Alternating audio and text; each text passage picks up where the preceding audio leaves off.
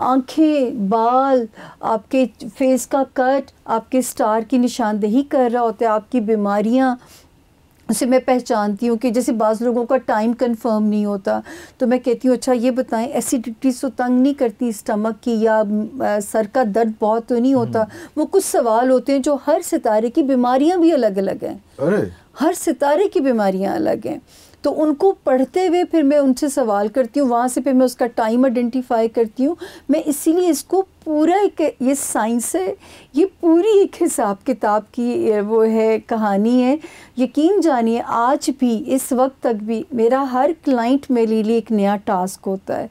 But there are books available you can read and you can uh, have a teacher uh, of it और आप उसके साथ देखिए. इसके लिए एक तो ईएसपी का तेज होना तो ज़रूरी है अल्लाह ताला ने और सच बात है ये इल्म है और हम्म। जो है ना बहुत सारे लोग सीखते भी हैं इसको।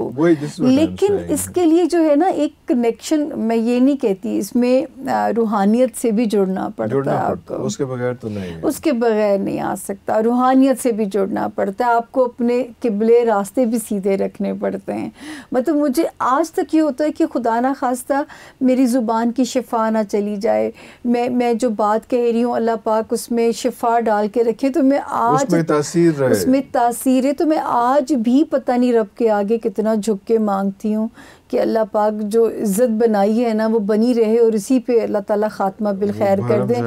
एक जिस दिन मैं अपने काम में चीटिंग की इरफान जिस दिन मैंने जो है अपने काम के साथ बेईमानी की समझे मेरा असर असर खत्म हो जाए असर ख़त्म हो। जाए मेरा ये मेरा एक खौफ है और ये मैं इस इल्म में आने वाले लोगों को ये समझाऊँगी भी। जैसे मुझे बड़ा दुख हुआ। देखिए इन दिनों में होता क्या था कि जो खान साहब के हामी वो एक ग्रुप बन गए हैं हम्म, हम्म, एस्ट्रोलॉजर्स हम्म। के भी ग्रुप बन गए ठीक है ना? तो मतलब एक साहब बहुत एकदम उनका फ़ेमस हुआ बड़ा कहाँ से कहाँ गया। मेरे पास लोग आए बहुत सारे शिकायत लेके कि वो पॉलिटिशियंस थे। कि वो उससे मिले होंगे जाके कि जो उनको ज़ाहिर अच्छा लगा होगा जो खान के प्यार करने वाले हैं हाँ, उनको वो हाँ, वो बात अट्रैक्ट करती है। तो मुझे देख के तो लोग रिमोट भी चेंज कर देते होंगे।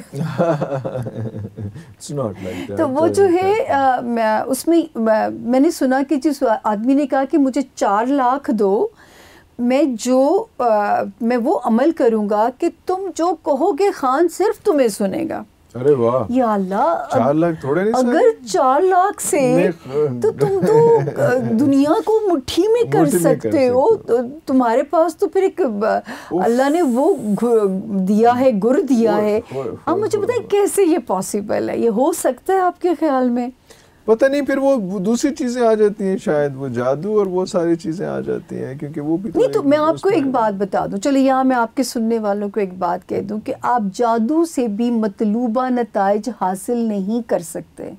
सपोजिंगली मैं आप पे जादू करा रही हूँ कि इरफान साहब हर ड्रामे में मुझे लें अपना मेन उसमें लें लेकिन आपके जायचे में अगर नेपचून किसी और जगह पे वीक है आपके हेल्थ एरिया में वीक है या आपके उस पर तो आपका मैं बेड़ा गर्क आपकी सेहत में कर दूँगी या आपके पैसे उजड़ जाएगा। मैं मतलूबा नतज हासिल नहीं कर नहीं सकती कि मैं आपकी मनपसंद हीरोइन बन के मैं काम करूँगी। ये नतज हासिल नहीं, नहीं हो, हो सकते। वो डैमेज किसी और सेंस में हो जाएगा उस लेकिन बंदे का पठा बिठा सकते हैं आप। क्योंकि देखें जो शैतानी ताकतें हैं वो भला नहीं कर सकती। वो बेड़ा गर्क कर सकती है वो मतलब मैं दुखी होती हूँ खान साहब के लिए कि अल्लाह पाक ने क्या उन्हें वो दिया और जब मैं ये सुनती थी बातें तो मैं कहती थी यार ये ये अमलियात ये चीज़ें इन्हें वेजिटेबल ना बना दें एक बंदा अपनी अक्ल इस और ये मैंने उनके बहुत करीबी लोगों से जुमला सुना कि जो है बहुत ही करीबी लोगों से जो बल्कि बनाने वाले लोगों के मुँह से जुमला हाँ, सुना हाँ।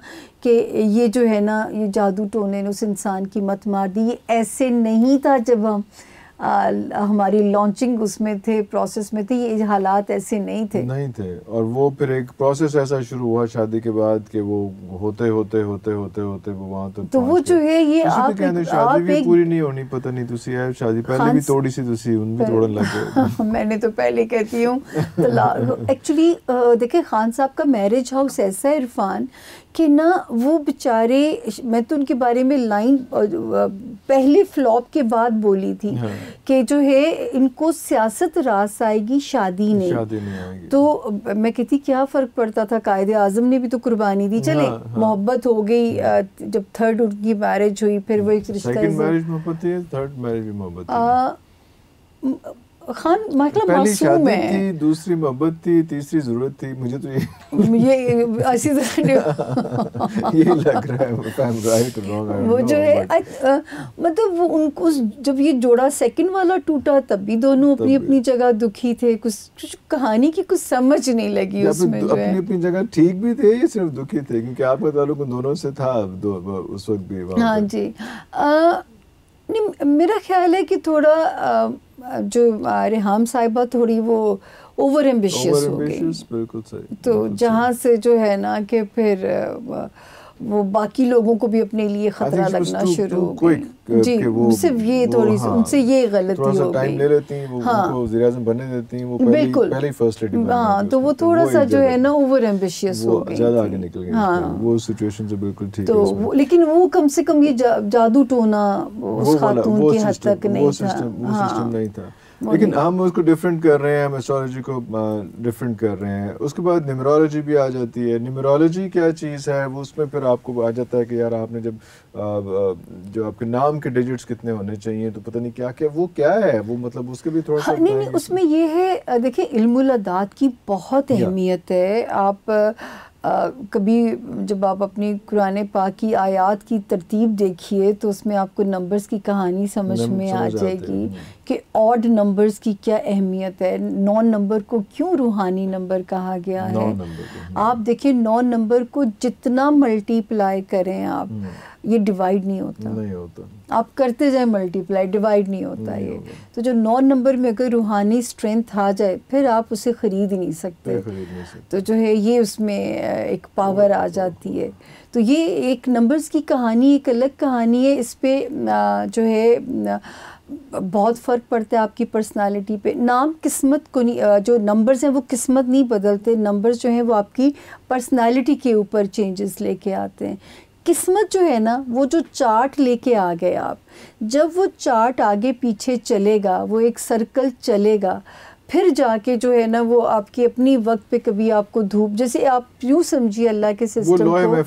हाँ, उसमें कुछ चीज़ें तकदीरें अटल हैं यानी माँ के पेट से बाहर आना जाने का दिन लिखवा के आना बच्चे ने कब आना है नए रूह ने कब जन्म हम्म। लेना है रिस्क ने कहाँ से आना है तो कुछ चीज़ें तकदीरें अटल हैं कुछ चीज़ों को दुआओं और सदकात से बदला जा बदला सकता, जा है। सकता है और यही किसी ने बड़ा अच्छा एक्सप्लेन किया था कि एक उसका भी लॉय महफूज को भी एक आउटर सर्कल है एक इनर सर्कल है। Outer circle can not be changed जी जी। उसके अंदर आप खेल सकते हैं लेकिन वो बाहर जो पैरामीटर है उसको आप अवॉइड नहीं कर सकते। उसके अंदर छोटी मोटी चीज़ें सारा आप देखिए ना आप आपने आपने जाना है इस्लामाबाद तो आप कहोगे कि मैं सेफेस्ट अपनी राइड लूँ। हाँ। लेकिन चाहे जितने मर्ज़ी सेफ्टी एस कर लें हाँ। वो जहाज़ वो रक्षा वो गाड़ी वो बस पहुंचेगी या नहीं पहुंचेगी ये तकदीर अटल है।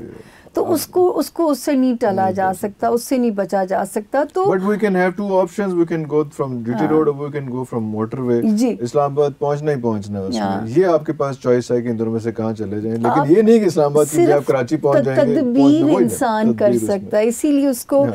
इन जानवरों से अफजल कहा गया है कि तदबीर कर सकता है। और मैं अपने बारे में भी यही कहती हूँ कि सिर्फ़ तदबीर बनाने में मेरा एक गाइड और गार्ड का रोल है।